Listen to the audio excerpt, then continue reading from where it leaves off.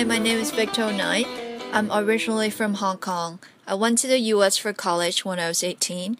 After I graduated from Rhode Island School of Design, I moved to New York and has been working and living there since.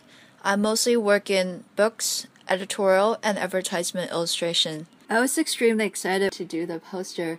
For me, that's one of the holy grails of illustration. One of my RISD professor was Oren Sherman. When he shared his MTA poster with us in Illustration 1 class, I thought to myself, that's so cool and otherworldly. The theme of the poster is the fantastic ride of MTA. When I went to the cloister, I thought that's the perfect place for the project.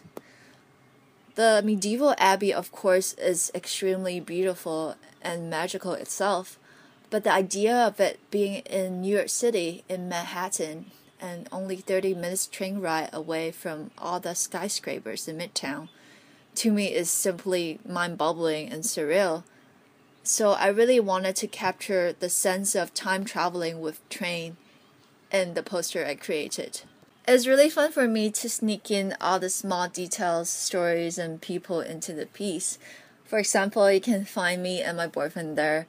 You can also find a dog chasing a squirrel. I wanted to create a piece that's beautiful but also relatable and personal to people.